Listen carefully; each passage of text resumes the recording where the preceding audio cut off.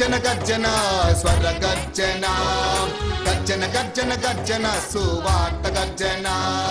గర్జన గర్జన గర్జన స్వర గర్జన. గర్జన గర్జన గర్జన సువార్త గర్జన. ఎసయ్య గర్జన మెస్సియ గర్జన. ఎసయ్య గర్జన మెస్సియ గర్జన. భూమి ఆకాశం అంతం వరకు వినపడుతున్నాయి గర్జన. భూమి అంతం వరకు వినబడుతున్న యోధ స్వరగర్జన స్వరగర్జన స్వరగర్జన స్వరగర్జన వాస్తవానికి ఉదయము లేచినప్పటి నుంచి రాత్రి పడుకునేంత వరకు కూడా స్త్రీదే ఎక్కువ ప్రాధాన్యత. ప్రతి విషయంలో కూడా మొదటి లేసేది ఎవరో అంటే స్త్రీనే లేటుగా పడుకునేది ఎవరంటే స్త్రీనే. అంటే ఇంత ప్రత్యేకమైన స్థితిలో ఉంటున్న స్త్రీ మాత్రం బైబిల్ ప్రకారం కానీ ప్రపంచవ్యాప్తంగా కానీ యాక్చువల్లీ మన క్రియారూపముగా చూసినా కూడా కానీ మరి స్త్రీ బలహీనమైనది అని ఉంటుంది. ఏముంటుంది? స్త్రీ బలహీనమైనది. అది మీరు కూడా ఒప్పుకుంటారు. మేము బలహీనలమే. పురుషుల కంటే మాకు బలం ఎక్కువగా లేదు పురుషుల కంటే మేము హైట్గా లేము. పురుషుల కంటే మేము జ్ఞానవంతులు కాదు. పురుషుల కంటే మేము ఏ రకంగా కూడా గొప్పవారం కాదు. పురుషుల కంటే కూడా మేము అధికులము కాదు. పురుషుల కంటే కూడా ఏ రకముగా కూడా మేము వివేచన కలిగిన వారము కాదు అని స్త్రీ కూడా ఒప్పుకోవటము ఆమె విధేయతకు ఆ వినయానికి ఒక ముఖ్య కారణం అయితే ఇంకో రకంగా చెప్పాలంటే నేను బలహీనురాలను అని ఒప్పుకోవటములో బైబిల్తో ఏకీపించడం రెండవ కారణం. అందుకనే స్త్రీ బలహీనమైన ఘట్టము. అంటూ పేతురు తన యొక్క పత్రికలు రాస్తూ ఆ స్త్రీని సన్మానించండి అన్నాడు. హలలుయా ఏం చేయమన్నాడు? స్త్రీని సన్మానించమన్నాడు. బలహీనమైన ఘట్టము గనుక ఆమెను సన్మానించండి అంటూ పేతురు తన యొక్క పత్రికలో మూడవ అధ్యాయం ఏడవ వచ్చంలో వ్రాసి పెట్టడం జరిగింది మహిమ కలక స్త్రీ బలహీనమైన ఘట్టము చెప్పదా? ఒప్పుకుంటారా మీరు ఎవరైనా ఒకసారి చెప్ప ఒప్పుకుందామా? బైబిల్ అంటుంది కాబట్టి నిజమేది అది వాస్తవం కూడా. మరి ఒకసారి చెప్పుదాం మేము బలహీనమైన ఘట్టం అని. ఒకసారి గట్టిగా చెప్పలు కొడదాం. కానీ ఈ దినము నుంచి మీరు ఆ రీతిలో కారు. ప్రైజ్ హల్లెలూయా ఈ దినము నుంచి ఆ రీతిలో మీరు ఉండరు. మరి ఇప్పుడు ఏ మాట అయితే చెప్పారో బలహీనమైన ఘట్టం ఇప్పటి వరకు అది వాస్తవమే. ఈ రోజు కూడా వాస్తవమే. నిన్నటి కూడా వాస్తవమే. గతించిన దినములన్నీ కూడా వాస్తవమే. పుట్టినది మొదలుకొని ఇప్పటి వరకు కూడా మీరు చెప్పినది నిజమే. ఎందుకు అంటే తల్లి గర్భంలో మీరు పుట్టినప్పుడు కూడా పురుషుని కంటే కూడా ఐదు రోజులు లేటుగా పుడతారు. లోకంలో రావడానికి కూడా ఐదు రోజులు మీకు ఆలస్యం అవుతుంది. కారణం బలహీనమైన ఘట్టం అని చెప్పడానికి శాస్త్రీయంగా కూడా ఇది ఒక నిజం. ప్రేమితులకి కూడిన ప్రియ సహోదరులకి తెలుసుకోవలసిన ఒక విషయాన్ని ఏదైనా ముందు గుర్తు చేయడానికి ఇష్టపడుతుంటున్నా. బలహీనమైన ఘట్టం నిజమే కావచ్చు. కానీ ఈ దినము నుంచి దాన్ని బలముగా మార్చుకుందాం. ప్రేసర్ హల్లెలూయా దానిని బలముగా మార్చుకుందాం. దేవుని యొక్క నామానికి మహిమకరంగా మీకు గుర్తు చేస్తున్నాను. నేను చెప్పే వాక్యాన్ని కానీ మీరు శ్రద్ధగా వినగలిగితే మీరు బలహీనులా బలవంతులో తెలుసుకోవడానికి అవకాశం ఆఖరిలో మీకు తెలియజేయబడుతుంది స్త్రీల పండుగ రోజున మిమ్మల్ని బలపరచడమే దేవుని యొక్క సేవకుడుగా నా కర్తవ్యం. మిమ్మల్ని బలపరచడమే దేవుని యొక్క దాసుడుగా నా విధి. మిమ్మల్ని బలపరచడమే దేవుని యొక్క శిష్యుడిగా నా యొక్క ప్రత్యేకమైన ప్రణాళిక. అందుకనే ఈ స్త్రీల పండుగను ఏర్పాటు చేశాం. ఐగుప్తులో ఇజ్రాయెల్ జనాంగం ఉన్నారు. ఉన్న ఇజ్రాయెల్ జనాంగం విడిపించడానికి సీనాయ పర్వతం మీద ఒక అద్భుతాన్ని చూపించాడు మోషేకు దేవుడు. అది మండుచూ ఉన్నది. కానీ కాలలేని పొద. ఆ పొదను చూసిన మోషే ఆ పొద ఏంటో అద్భుతం ఏంటో చూడాలని వెళ్ళాడు. దేవుడు స్వయముగా మోషతో మాట్లాడాడు. వెళ్ళవలసిన చోటికి పంపవలసిన విధముగా పంపించి చేయవలసిన కార్యాలను చేయించి ఐగుప్తులో ఉంటున్న ఇజ్రాయెల్ జనాంగములు మూలుగులు విన్న దేవుడు మోషే ద్వారా ఇజ్రాయెల్ జనాంగమును విడిపించాడు. వారిని విడిపించి అబ్రహాముకు చేసిన వాగ్దాన భూమికి వారు నడిపించడానికి కొరకు మోషే నాయకత్వంలో పొరోని ఎదిరించి వారిని బయటికి తీసుకొని వచ్చాడు. వారు నడిపిస్తూ ఉన్నాడు. దేవుడు కూడా వారితో కూడా నడుస్తూనే ఉన్నారు. వాళ్ళ స్త్రీలు ఉన్నారు పిల్లలు ఉన్నారు వృద్ధులు ఉన్నారు బలహీనమైన ఉన్నారు బలవంతులు కూడా ఉన్నారు. అందరినీ నడిపించుకుంటూ ఎర్ర సముద్రం దగ్గరకు వచ్చాడు. ఫరో హృదయంలో మరొక కఠినత్వం పుట్టింది. ఇంత జనాంగం ఇన్ని రకాలుగా ఉపయోగపడే బానిసత్వంలో ఉండిన ఇజ్రాయలు మనకు దూరం అయిపోతే మన స్థితి పరిస్థితి రాజ్య పాలన ఏంటి అని యోచన చేస్తూ తిరిగి వారిని వెనక్కి తీసుకొచ్చుకోవాలని చెప్పి తన యొక్క బలముతో తన బలకముతో తన రౌతులతో తన గుర్రముల చేత మరి యోధులను అనేక మందిని జోడి చేసుకుని వారిని వెంటాడాడు. ముందర ఎర్ర సముద్రం వెనకాల ఐగుప్తు సైన్యం ఫరో సైన్యం. ఎదురాడి పోరాడే శక్తి ఇజ్రాయల్ జనాంగముకు ఎవ్వరికీ లేదు. వారి దగ్గర వెండి బంగారములు ఉన్నాయేమో కానీ కత్తులు ఖడ్గాలు లేవు. వారి దగ్గర పనిచేసే బలం ఉందేమో కానీ యుద్ధము చేసే నైపుణ్యత ఇజ్రాయల్ జనాంగముకు లేదు. అలాంటి స్థితిలో ఉంటున్న ఇజ్రాయల్ జనాంగమును వెనుకకు తీసుకొని పోవడము ఫరోకు చాలా సులభం. అయినప్పటికీ కూడా దేవుని యొక్క మహాకృపను బట్టి నాయకత్వం వహిస్తున్న మోషే దేవాది దేవుని యొక్క సన్నిధిలో మోకరించుకుని ప్రార్థన చేస్తూ ఉన్నాడు. ప్రైజ్ ఏం చేస్తున్నాడు? ప్రార్థన చేస్తున్నాడు. ఆయనకి తెలిసింది ఒక్కటే ప్రార్థన చేస్తే ఎర్ర సముద్రమును దాటే అవకాశం ఏమైనా ఉన్నదా? ప్రార్థన చేస్తే వెనకాల వస్తున్న ఐగుప్తులను ఏమైనా గెలవడానికి అవకాశం ఉన్నదా? అంటూ ఓ ప్రత్యేకమైన తీర్మానం చేత మోకరించుకొని ప్రార్థన చేశాడు. ప్రార్థన చేసిన వెంటనే దేవాది దేవుడు మోసతో ఒక చక్కటి మాట చెప్పాడు. ఆ మాటను మన బైబిల్లో చదువుకుందాం. నిర్గమకాండం పద్నాలుగవ అధ్యాయం పదహైదవ వచనం. అంతలో యహోవా మోషతో నీవేళ నాకు మొరపెట్టుచున్నావు. సాగిపోవడి అని ఇజ్రాయెల్తో చెప్పుము. నీవు నీ కర్రను ఎత్తి ఆ సముద్రం వైపుకు నీ చెయ్యి చాపి దాని పాయలుగా చేయము.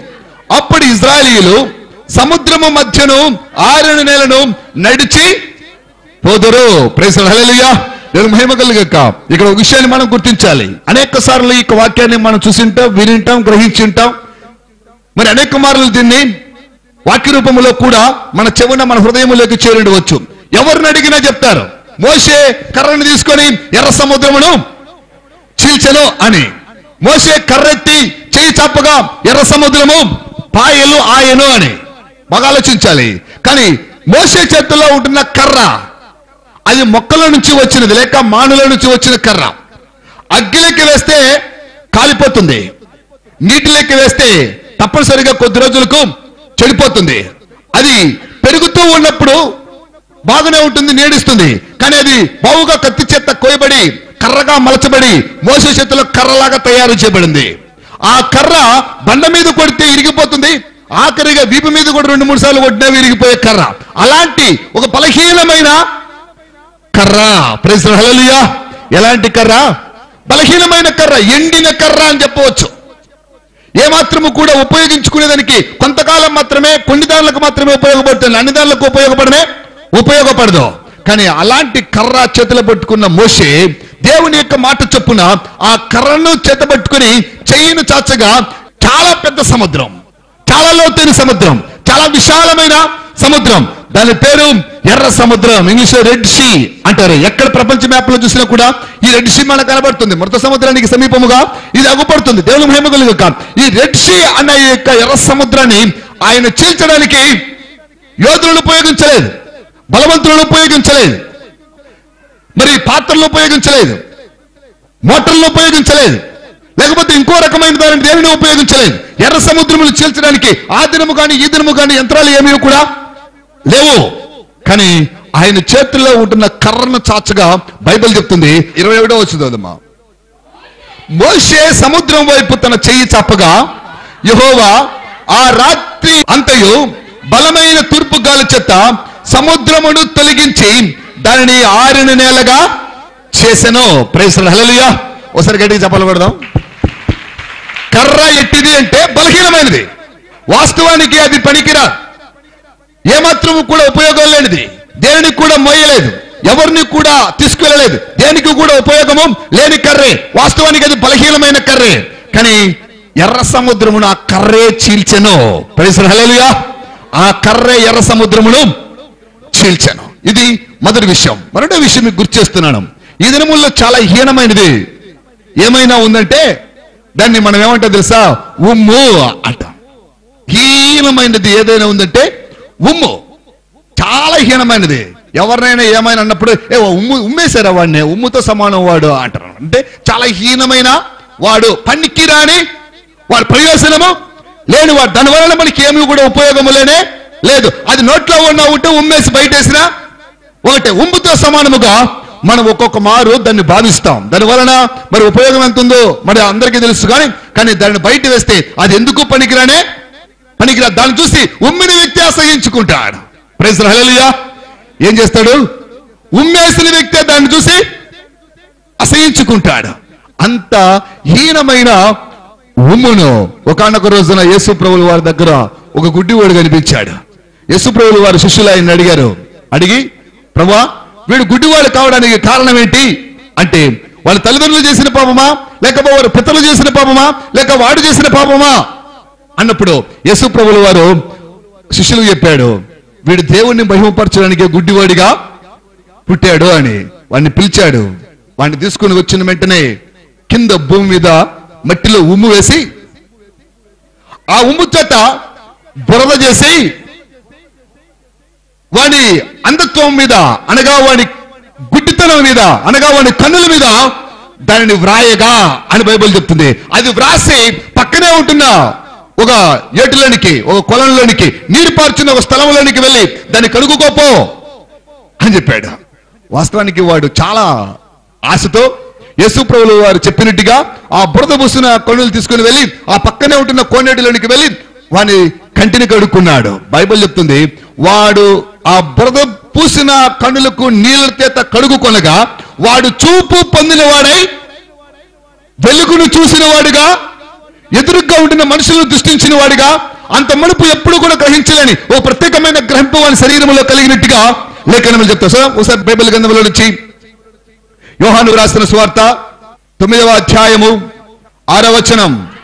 ఆయన ఇట్లు చెప్పి నేల మీద ఉమ్ము వేసి ఉమ్మితో బురద చేసి వాని కన్నుల మీద బురద పూసి నీవు శిలోయమును కోనేటిలోనికి వెళ్ళి అందులో కడుగుకోనమని చెప్పాను.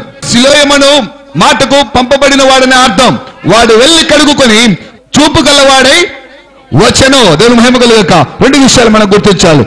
ఉమ్ము చేత దేవుడు స్వస్థత కలిగించినట్టుగా ఈ లెక్కన మనం చదవచ్చు. మరి ఇంకో విషయాన్ని కూడా మీకు గుర్తు చేస్తాను. ఒకనొక దినమందున ఒక స్త్రీ పన్నెండు సంవత్సరాల రక్తస్రావము గల స్త్రీ.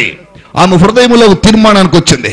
ఏంటి ఆమె తీర్మానం అంటే యేసుక్రీస్తు యొక్క మాట విన్నప్పుడు యేసుక్రీస్తు దగ్గరకు వెళ్ళాలని ఆశ వచ్చినప్పుడు యేసుక్రీస్తు వారి యొక్క వస్త్రపు చెంగుని ముట్టినా బాగుపడదును అనుకున్నది. నేరుగా యేసుక్రీస్తు వెనకకు వెళ్ళినది యేసుక్రీస్తు వారి యొక్క వస్త్రమును ముట్టినదంట. హలలుగా దేని మహిమ కలుగక వస్త్రమును ముట్టెను.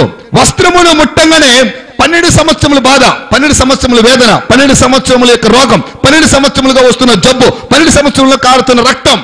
ఏకదాటిగా ఒకే ఒక క్షణములో యశుప్రభులు వారి యొక్క వస్త్రములు ముట్టగానే ఆమె రక్తధార కట్టిన మూడు విషయాలు మీకు చెప్పాను. మొదటి విషయం మోషల చేతిలో ఉంటున్న కర్ర ద్వారా యేసుప్రభు నోటిలో ఉంటున్న ఉమ్ము ద్వారా యేసుక్రీస్తు వారు ధరించిన వస్త్రము చెత్త మూడు విషయాలు కూడా అన్ని హీనమైనవే. అంటే బలహీనమైనవే అనే అర్థాన్ని కలిగిస్తుంది. ఉమ్ము పనికిరానిదే వస్త్రము కూడా కొద్ది రోజులు మాత్రమే పనికొచ్చేది ఆఖరిగా కర్ర కూడా కొంతకాలం మాత్రమే పనికొచ్చే కర్ర. దానితో పాటు మీకు గుర్తు చేస్తున్నాను. వస్త్రపు చెంగుని ముట్టిన వెంటనే రక్తస్రావం గల స్త్రీ స్వస్థ పొందినట్టుగా మనం తెలుసు. అదే వస్త్రం. ప్రభు అయిన క్రీస్తు వారి యొక్క దాసుడైన ఏలియా భుజము మీద ఉంటే. హలలుయా ఏలియా భుజము మీద ఉండదంట దాని పేరు దుప్పటి. వేసుకుంటే వస్త్రం కప్పుకుంటే దుప్పటి. దేవుడు మహిమ కలుగక ఈ దుప్పటి ఏలియా గారు ఎప్పుడు భుజం మీద వేసుకుని వెళ్ళేవారు. ఒకనొక దినమందున ఆయన యోర్ధాన్ని ఒడ్డుకు వెళ్ళవలసిన వస్తుంది వచ్చింది. దేవుని యొక్క పిలుపు మేరకు ఆయన ఆకాశముకుడు ఆరోహణం అవ్వాల్సిన సందర్భం ఏర్పడింది. అలాంటి సందర్భంలో వెనకాల ఇలిష గారు వెంబడిస్తూ ఉన్నప్పటికీ మరి యోర్ధాన్ అనేది అడ్డంగా ఉంటే ఆయన జీవము కలిగిన దేవుని యొక్క పేరిట చెలియజేస్తూ ఆ దుప్పటిని తీసి భుజం మీద నుంచి యోర్దాన్ కొట్టగా యువార్థాన్నది పాయలుగా అయినదంట. సుధం రెండవ రాజుల గ్రంథం రెండవ అధ్యాయం ఎనిమిదవ వచనం. అంతటి ఏలియా తన దుప్పటి తీసుకొని మడత పెట్టి నీటి మీద కొట్టగా యువతులకును అవతులకును విడిపోయిన గనుక వారిద్దరూ పొడి నేల మీద దాటిపోయిరి. ప్రేసరహలుగా దేవునికి మహిమ కలుగక ఇది ఒక దుప్పటి. దుప్పటిని కొడితే నీళ్ళు పీల్చుకొని నీటిలోకి మునిగిపోతుంది. దుప్పటి నీటిలోకి పడవేస్తే కొద్దిసేపు తర్వాత తడిసిపోయి బరువెక్కి అడుగు భాగానికి వెళ్ళిపోతుంది. నీ వస్త్రమైనా దుప్పటైనా కూడా తేలడానికి అవకాశం ఉండదు. నీరు తగిలిన వెంటనే దాని ప్రభావం తరిగిపోయి అది నీటి అడుగుపోకానికి వెళ్ళిపోవాల్సింది తప్ప నీటి మీద ఉండడానికి కానీ నీటి మీద కదలడానికి కానీ నీటి మీద నడవడానికి కానీ నీటి మీద జీవించడానికి కానీ దానికి అవకాశం ఉండదు. ఎందుకంటే అంత బలహీనమైనది. కానీ ఇక్కడ బైబిల్ చెప్తుంది ఏలియా గారు దుప్పట మడత పెట్టి యోర్దాన్ నది మీద కొట్టగా యోర్దాన్ నది అవతలకు యువతలకు రెండు పాయలుగా చెలిపోయాను. ప్రైజ్ హల్లెలూయా. దేవునికి మహిమ కలిగాక ఈ నాలుగు విషయాలను కూడా మీ హృదయంలో దాచుకుందాం. మొదటిది మోస చేతిలో కర్ర. రెండవది ఏసు నోటిలో ఓమో మూడవది క్రీస్తు ధరించిన వస్త్రము. నాలుగవది ఏలియా భుజం మీద ఉంటున్న దుప్పటి. ఇవన్నీ తాత్కాలికమైనవి. నాకు తెలిసినంత వరకు స్త్రీ కంటే కూడా చాలా బలహీనమైనవి. అలలియా స్త్రీ కంటే కూడా చాలా బలహీనమైనవి. స్త్రీ కంటే చాలా విలువ తగ్గినవి. స్త్రీ కంటే కూడా చాలా హీనమైనవి. స్త్రీ కంటే కూడా చాలా అరుదుగా కనిపించేటివి. స్త్రీకి కూడా దానికంటే గొప్పతనము లేదా అంటే వాస్తవానికి వీటికంటే స్త్రీకి చాలా గొప్పతనము రావడమే ఈ స్త్రీల పండుగ యొక్క ఉద్దేశం. ప్రమితులుగా కూడిన ప్రియ సహోదరి సహోదరుల ఎలా దీనికి అంత గొప్పతనం వచ్చింది? ఎవరి ద్వారా వీటికి ఆ బలహీనమైనవి అంత ప్రయోజనకరమైనవిగా మార్చబడ్డాయి? ఎర్ర సముద్రం చీల్చే శక్తి కర్రక్కుందా స్వస్థత కలిగించే శక్తికి ఉమ్ముకుందా? మరి రోగాన్ని బాగు చేసే సామర్థ్యం వస్త్రానికి ఉందా? వార్తాన్నది పాయలుగా చేయగలిగిన శక్తి దుప్పటికుందా అంటే? లేదు. స్త్రీకు కూడా బలము లేదు అన్నది వాస్తవము. ప్రైజ్ స్త్రీకు కూడా బలము లేదు అన్నది వాస్తవం. ఎంతవరకు అది నిజమంటే ప్రపంచమంతా చెప్పుకునే విధముగా ఇది నిజమే. మనకు చాలా మందిని చూపిస్తారు. రాజ్యాన్ని పరిపాలించిన లక్ష్మీబాయి గారిని ఝాన్సీ రాణి గారిని ఇలాంటి వారిని కొందరిని మన భారతదేశాన్ని పరిపాలించిన ఇందిరాగాంధీని మన బావుగా తెలిసిన మదర్ తెరిసా లాంటి వారిని కొల్ల మందిని స్త్రీలు ఇద్దరు ముందు చూపించడానికి అవకాశం ఉంది. కానీ ఏ ఒక్కరో బలవంతులు కాదు. స్త్రీలందరూ కూడా బలవంతులే. ప్రొఫెసర్ హలలియా స్త్రీలందరూ కూడా బలవంతులే. ఏ విధముగా? ఏ రకముగా బలహీనులు బలవంతులుగా మార్చబడగలరు? ఏ విధముగా? స్త్రీలు బలహీనమైన ఘట్టమే కానీ అది బలమైన ఘట్టముగా ఏ రీతిలో తయారు చేయబడగలదు అంటే మధురిగా మిమ్మల్ని మదర్ తెరిసా దగ్గర తీసుకుని వెళ్తున్నాను. ప్రైసర్ హల్లెలూయా ఎవరు? ఎవరు? ఎవరికని తెలుసా మదర్ తెరిసా గారు? మదర్ తెరిసా గారికి ఎవరికని తెలుసా? కరెక్ట్గా డెబ్బై రూపాయల ఇప్పుడు కాస్ట్ డెబ్బై రూపాయల శారీని ధరిస్తుంది ఇప్పుడైతే. ఆమె వేసుకునే రోజుల్లో అది ముప్పై లేక నలభై రూపాయలు మాత్రమే శారీ ఉండవచ్చు అంత తగ్గింపు స్వభావము కలిగిన స్త్రీ. ఈ రోజు మనం ఏమనుకుంటాం తెలుసా? మన వస్త్రాన్ని బట్టి మనకు విలువిస్తారు నిజమే సమాజం మన వస్త్రాన్ని బట్టి మనకు విలువిస్తుంది మరికొందరు ఏమనుకుంటారు తెలుసా? మనం వేసుకున్న నగలను బట్టి మనకు ప్రపంచం విలువిస్తుంది నిజమే మనల్ని పై ఆకారం చూసే లోకం తప్పనిసరిగా మనకు పై ఆకారం చూసే విలువ ఇస్తుంది. కానీ మనం ఏమి ధరించాం? అన్నది ముఖ్యం కాదు. స్త్రీ క్రీస్తుని ధరిస్తే హలలుయా ఎవరిని ధరిస్తే? బంగారం ధరిస్తే కాదు. వెండిని ధరిస్తే కాదు విలువైన వస్త్రాలు ధరిస్తే కాదు. ఏ సుప్రభులు వారిని కాన స్త్రీ ధరిస్తే తప్పనిసరిగా అది బలహీనమైన ఘట్టం కాదు. బలమైన ఘట్టముగా మార్చబడుతుంది. ఎందుకు? అంటే మదర్ తెరిసా గారు చాలా సున్నితమైన మనసు కలిగిన స్త్రీ. ఈ దినమందు దాదాపుగా ఇరవై ఆరు దేశాలకు పైగా ఆమె తెలియని వారు లేరు. భారతదేశంలో మదర్ అని పిలవడానికి మరి ఇంతవరకు ఎవరికి అర్హత లేదేమో? అని చెప్పడానికి అవకాశం ఉంది. ఎందుకంటే ఆమెను మాత్రమే మదర్ అని పిలుస్తూ ఉన్నారు. హల్లెలూయా ఇంకెవరిని పిలవరు? వాస్తవానికి వారిని కన్నతల్లిని కూడా కొందరు పేరు పెట్టి పిలిచే వాళ్ళైతే మరికొందరు ఇంకో రకంగా ఇంకో రకంగా ఉచ్చరిస్తుంటారు. కానీ తెరిసన మాత్రం అందరూ మదరే అంటారు. చిన్నవాడు మదరే అంటాడు పెద్దవాడు మదరే అంటాడు. డబ్బున్నవాడు మదరే అంటాడు డబ్బు లేనివాడు మదరే అంటాడు. తెలిసినవాడు మదరే అంటాడు తెలియనివాడు మదరే అంటాడు. ప్రపంచంలో ఉన్న వారందరూ కూడా తెరిసా కానీ మదర్ తెరిసా అని పిలుస్తున్నారు.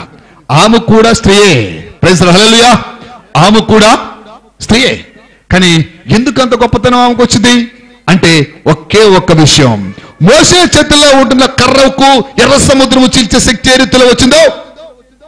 యేసుక్రీస్తు వారి యొక్క నోటిలో ఉంటున్న ఉమ్ముకు గుడ్డివాడిని స్వస్థపరచడానికి ఏ రీతిలో శక్తి సామర్థ్యాలు వచ్చాయో?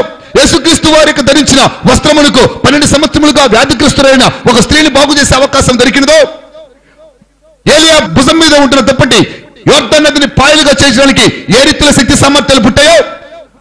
అలాగనే యేసుక్రీస్తు వారిని ధరించిన మదర్ తెరిసగా కూడా ప్రపంచముల మదర్ అని పిలిపించుకునే యోగ్యత అర్హత ఆమెకు మాత్రమే దక్కినదే. ప్రియదేవుని బిడ్డలరా ఆమె స్త్రీ అన్న సంగతి మనం మర్చిపోకూడదు. ఆమెకు కూడా పెద్దలు చెప్పిన మాట వర్తిస్తుంది.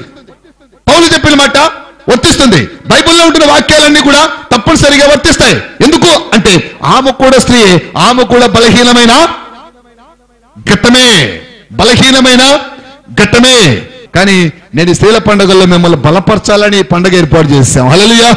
ఏం చేయాలి? బలపరచబడాలి. స్త్రీ బలహీనురాలు కాదు అని ప్రపంచానికి చాటి చెప్పే ఒక గొప్ప స్త్రీతత్వము నీలో ఉన్నదని రుజువు చేస్తే ఓ ప్రత్యేకమైన ఆలోచనే ఈ స్త్రీల పండుగ ఉద్దేశం. మా పిల్లలకు నేను ఒక మాట చెప్తుంటాను. అందరూ కూడా స్త్రీలు ఆడబిడ్డలను కనాలంటే ఇష్టపడడం లేదు. మగవాళ్ళు కూడా ఆడబిడ్డలు పుడితే ఒప్పుకోవటం లేదు. కానీ మీ ఇద్దరిని చూసిన ప్రపంచానికి ఒక మాట చెప్పాలి. కంటే ఆడబిడ్డనే కానండి అని. హలలుయా మా పిల్లల్ని చూసి చెప్తుంటాను నేను. మా పిల్లలకు అది నేర్పిస్తుంటాను. మిమ్మల్ని చూసిన వారు లేదా నేను వారు చెప్పుకునే విధముగా నాకు ఒక కుమారుడు ఇద్దరు ఆడపిల్లలు. అప్పుడప్పుడు మనం తెలుసుకోవాల్సిన విషయం అలాగా పెరగండి అలాగా ఉండండి అలాగా జీవించండి అంటూ. ఇప్పుడు హోలీ మెస్స మినిస్ట్రీలో ఉంటున్న సభ్యులకు స్త్రీలకు మేము గుర్తు చేస్తున్నా. వాస్తవానికి స్త్రీగా పుడితే విశ్వాసగా ఉంటే ఒలి మెసే మినిస్ట్రీస్లో ఉండాలి అనిపించాలి. హల్లెలూయా! ఎలా అనిపించాలి? ఎలా అనిపించాలి? ఎలా అనిపించాలి? ఆ మందిరానికి వెళ్ళాం. స్త్రీకి విలువ లేదు. ఈ మందిరానికి వెళ్ళాం. స్త్రీకి మమ్మల్ని పట్టించుకోవడం లేదు. ఈ మందిరంలో మమ్మల్ని ప్రకటించడం లేదు. ఆ సంఘంలోకి వెళ్తే మమ్మల్ని పట్టించుకోవడం లేదు. అన్న స్థితిలో స్త్రీ ఉండకూడదు. స్త్రీకి కూడా ఒక విలువ స్త్రీకి కూడా ఒక ప్రత్యేకత స్త్రీకి కూడా ఒక ప్రత్యేకమైన ఆలోచనలు స్త్రీ కూడా ఫలానిది చేయగలదు అనే ఒక ప్రత్యేకమైన తలంపు పుట్టించడానికి మాత్రమే ఈ దినమందున ఈ స్త్రీల పండుగను మనం ఏర్పాటు చేసుకున్నాం. తింటున్నా నా ప్రియ సహోదరులకి అందరికీ కూడా మీకు గుర్తు చేస్తున్నాం నిజముగా మనము గొప్పవారము కావాలి. మనకు కూడా దేవుడు ఒక అవకాశం ఇస్తాడు. హల్లెలూయా! మదర్ తెరీసాకి ఇచ్చాడు ఆమె స్త్రీ అయినప్పుడు ఆమెకు వచ్చిన అవకాశం నీకెందుకు రాదు? వస్తుంది. బైబిల్ గ్రంథంలో ఒక స్త్రీ ఉంది. ఈమె పేరు హెస్తేర్. బలహీనమైన ఘట్టమే. కానీ ఎంత బలమైనదో మీకు గుర్తు చేయడానికి ప్రపంచంలో ఉంటున్న తెరీసా గారిని చూపించాను. బైబిల్లో ఉంటున్న ఒక స్త్రీని చూపిస్తాను. ఈమె పేరు హెస్తేరు. హెస్తేరు అనగా నక్షత్రము అని అర్థం. ఆమెకు మరో పేరుంది హదస. అని హదస అంటే పరిమళత్వము అని అర్థం. ఈమెకు తల్లిదండ్రులు ఇద్దరు కూడా లేరు. ఇక్కడ కూడా ఉంటున్న స్త్రీలకు అనేక మందికి తల్లిదండ్రులు లేని వారు ఒక కొలల మంది ఉన్నారు తల్లి ఉండరు తండ్రి కూడా ఉండడు. బాల్యము నుంచినే తనకు కావలసిన ఓ బంధువు దగ్గర ఆమె పెరగడం జరిగింది. ఇతని పేరు మద్దకయ్య అని కానీ ఎస్తేరు చాలా అందగత్తె. అనుకోని విధముగా దేవుని యొక్క సంకల్పము చొప్పున దేవుని యొక్క ప్రణాళిక చొప్పున ఈ హదస్స అనే యొక్క స్త్రీ మంచి భక్తి పొర్రాలు మంచి ప్రార్థన పొర్రాలు ఎప్పుడు కూడా ధర్మశాస్త్రపు లేఖనాలను పాటిస్తూ దేవుని పట్ల విశ్వాసము కలిగిన స్త్రీ అలాంటి ఈ స్త్రీకి ఓ చిన్న అవకాశం వచ్చింది యవన ప్రాయంలో వివాహము జరిగే సందర్భములో. ఆమె ఓ ప్రత్యేకమైన రాజుకు భార్యగా మలచబడి ఒక రాజ్యానికి రాణిగా తయారు చేయబడినది. హలలుయా దేవుని మహిమ కలుగుక తల్లి తండ్రి లేని స్త్రీ ఒక రాజ్యానికి రాణి అయిపోయినది. అనాథ అయిన స్త్రీ ఒక రాజ్యానికి రాణి అయినది. అలాంటి రాజ్యానికి రాణి అయిన ఇస్తే ఎందుకు రాజ్యానికి రాజీ అయిందంటే సుఖభోగాలను అనుభవించడానికి కాదు.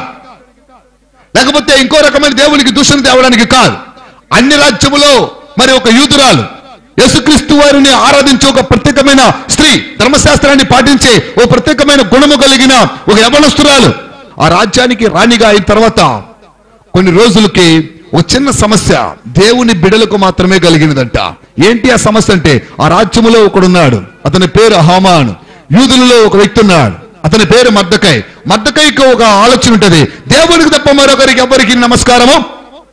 చేయడు. దేవుని తప్ప మరొకరికి తల ఒక్కనే ఒకడు ధర్మశాస్త్ర ప్రకారము తప్ప అన్ని రాజ్య ప్రకారము ఆయన నడవడికలు ఉండనే ఉండవు. నీతి న్యాయములు బావుగా పాటించే వాడు. అతని మీద కక్ష పెట్టుకుని హామాను యూదులను అందరినీ కూడా రాజ్యముల నుంచి ప్రాణదోలాలని చెప్పి రాజు దగ్గర ఒక ప్రత్యేకమైన ఆజ్ఞను తీసుకున్నాడు.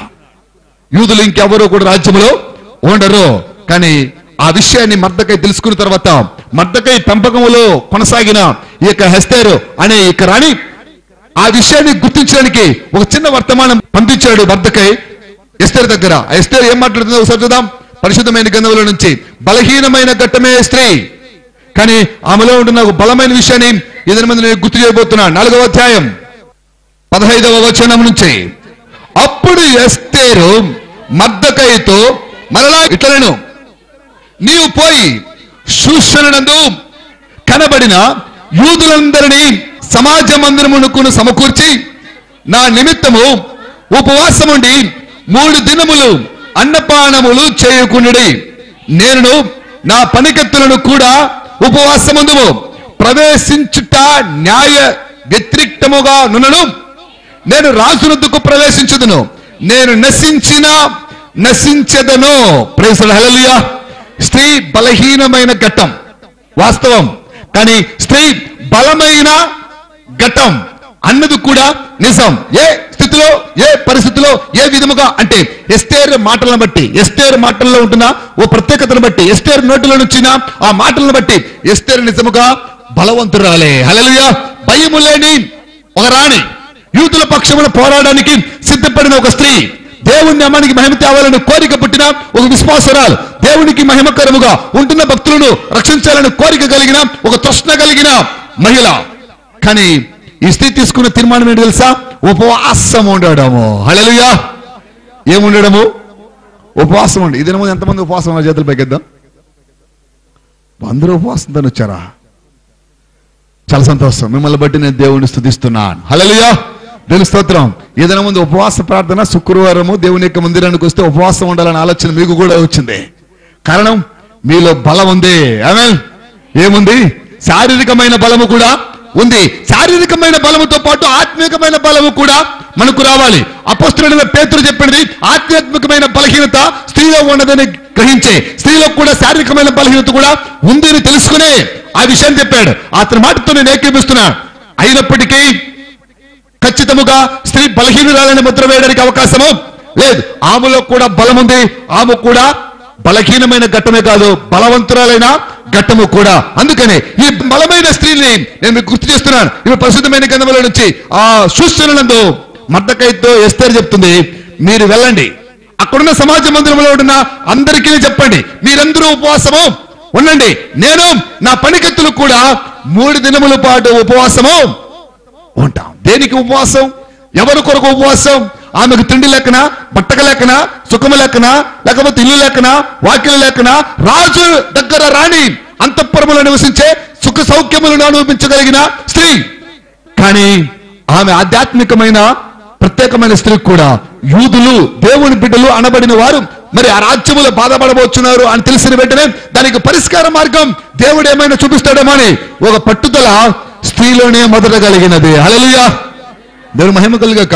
అందుకని ఆమె మూడు దినముల పాటు ఉపవాసం ఉండి ప్రార్థన చేస్తుంది. తనతో పాటు తన పనికత్తులు కూడా ఉపవాసం ఉండి ప్రార్థన చేశారు. ఆ పనికత్తులు కూడా స్త్రీలే. ఆమె దాని మహిమగలు కాకుండా ప్రియ సహోదరి సహోదరులరా దేనికి అంటే రాజ్యములో యూదులు స్థిరంగా స్థిరంగా సుఖంగా ఉండాలి అని రాజు యొక్క అనుగ్రహము యూదులు పొందాలి అని దేవుని యొక్క బిడ్డలకు సుఖము సౌఖ్యము రావాలి. వారు కూడా స్వతంత్రులుగా జీవించాలని ఆశ మేరకే ఒక ప్రత్యేకమైన తీర్మానం చేసుకునేది హెస్తేరు రాణి. దేవుని మహిమ యొక్క ఒకప్పుడు ఆమె అనాథ ఇప్పుడు ఆమె రాణి. ఎందుకు?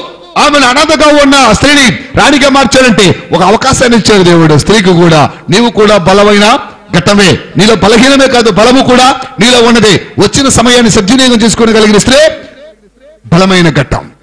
సద్వినియోగం చేసుకోలేకపోతేనే అది బలహీనమైన ఘట్టం అందుకని హెస్తేర మాత్రము సద్వినియోగం చేసుకున్నది తెరీసా గారు కూడా తన దేవుడిచ్చిన కృప వలన భారతదేశంలో ఏం చేయాలో ఇతర దేశాల్లో ఏం చేయాలో ఎలాంటి సేవ చేయాలో ఎలాంటి పరిచయం చేయాలో దేవునికి ఏ రీతిలో మహిమ దేవలో ఏ పని చేస్తే దేవునికి మహిమ వస్తుందో ఆ పనులన్నీ కూడా చేపట్టింది దేవాది దేవునికి మహిమ తెచ్చింది. బలమైన ఘట్టముగా ప్రపంచములో ఖ్యాతి ప్రఖ్యాతి దేవుడి నామానికి మహిమ తెచ్చే దేవుని యొక్క బిడ్డగా మలచబడి దేవాది దేవునికి ఘనత ఇచ్చిన పెరిసగా నిలిచిపోయారు. అదే విధముగా ఇక్కడుంటున్న ఇక హెస్తేర గారు కూడా ఆ రాజ్యములో ఉన్న ఆ ప్రజలను దేవుని బిడ్డలను సంరక్షించడానికి ఆమె తీసుకున్న తీర్మానము రాజు దగ్గరికి వెళ్ళడానికి ఒక నిర్ణయానికి వచ్చింది. ఆ రాజు దగ్గరికి వెళ్ళడానికి అంత గొప్ప అవకాశం ఏమైనా కావాలంటే ఏంటండి? ఆమె రాణి రాజు దగ్గరికి వెళ్ళడానికి ఏమైనా అనుమతి కావాలంటే ఆ దినము రాజ్యములో ఎవరైనా నువ్వు రాజు దగ్గరికి వెళ్ళాలనుకుంటే రాజు ఆహ్వానించారే తప్ప రాజు దగ్గరకు వారంతకు వారుగా వెళ్ళకూడదు. అదొక చట్టం. అది భార్య కావచ్చు బిడ్డ కావచ్చు తండ్రి కావచ్చు తల్లి కావచ్చు రాజుకు సంబంధించిన ఎవరైనా కావచ్చు ఆఖరిగా మంత్రి కూడా కావచ్చు. అంతఃపురములోనికి రాజు దగ్గరికి వెళ్ళాలంటే తప్పనిసరిగా రాజు యొక్క అనుమతి కావాలి. రాజు పిలిపిస్తే తప్ప అంతఃపురంలోనికి ప్రవేశించలే ప్రవేశించకూడదు. అలాంటి సందర్భంలో ఈమె ఆహ్వానము రాజు దగ్గర నుంచి రాలేదు. ప్రజలు రక్షించుకోవడము తెలియలేదు. కానీ ఓ చిన్న క్రియకూడదు ఎవరైనా కూడా రాజు ఆహ్వానం లేకుండా వెళ్తే రాజు దగ్గర కుడి చేతిలో ఒక దండము చేతిలో ఉంటుంది. ఆయన కనికరపడి గాని దయ చూపించి గాని లేకపోతే ప్రేమను కనబర్చి గాని ఆ దండమునెత్తి వారి వైపు చూస్తే వారికి శిక్ష విధింపబడదు. లేకపోతే వారికి మరణ శిక్షే విధించాలి. ఆయన క్రోధముతోనో లేకపోతే పగతోనో లేక ఏదో ఆలోచనతోనో దండమును చూపించకపోతే వీరికి మరణ శిక్ష విధింపబడుతుంది. అలాంటి ఒక ప్రత్యేకమైన కండిషన్ ఉంటున్న సందర్భంలో ఎస్తేరు మూడు దినముల పాటు ఉపవాసం ఉండి రాజు దగ్గరకు వెళ్ళడం ప్రారంభించింది. రాజు దగ్గరకు మూడవ దినమున ఉపవాసం ముగించుకొని దేవుని యొక్క సన్నిధిలో మొక్కరించుకొని ప్రార్థన చేసుకున్న తర్వాత ఆమె రాజు దగ్గరికి వెళ్తే రాజు ఆమె మీద దయదలిచి ఆయన దగ్గర ఉంటున్న రాజదండమును అలాగా చూపించాడు. మరి ఆమె కోరిక మేరకు అర్ధరాజ్యం ఇవ్వడానికి కూడా ఆయన ఇష్టపడ్డాడు. ఆమె ఆశించలేదు. ఆమెకున్న ఒకే ఒక కోరిక దేవుని బిడ్డలను ఆ రాజ్యములోనే ఉండనివ్వాలి. దేవుని బిడ్డలు శిక్షింప పడకూడదు దేవుని బిడ్డలు వెలివేయ బడకూడదు. ఆ రాజ్యములో వారు స్వతంత్రులుగానే జీవించాలని ఆశ హెస్తేరానికి ఉన్నది కనుక దానిని ఏ రీతిలో చేయాలో ఏం చేయాలో అని ఆలోచన చేసి దేవుడిచ్చిన జ్ఞానము చొప్పున వజ్రమును వజ్రముతోనే కోయాలని ఒక తలంపు చేత హామాను అనే ఒక వ్యక్తిని యూదులను చంపాలి యూదులను హింసించాలి యూదులను నశింప చేయాలని తలంపు కలిగిన ఆ యొక్క హామాను రాజును తన ఇంటికి విందుకు పిలిపించి ఒకటిసారి రెండు సార్లు మూడు సార్లు ఆ రీతిలో చేసి రాజు యొక్క కనికరము పొందిన ఆ స్త్రీ ఆఖరిగా హామానులో ఉంటున్న దురుద్దేశాన్ని హామానుకుంటున్న తలంపును బయటపెట్టి హామానికి ఉరిశిక్ష పడేటట్టుగా తయారు చేసినది. పెరుగుతులరా కుంటిన ప్రియ సహోదరి సహోదరులరా యూదులు సురక్షితం. యూదులకు స్వతంత్రం. యూదుల రాజ్యముల నుండే ఓ ప్రత్యేకమైన అవకాశం కల్పించింది ఎవరు అంటే స్త్రీనే.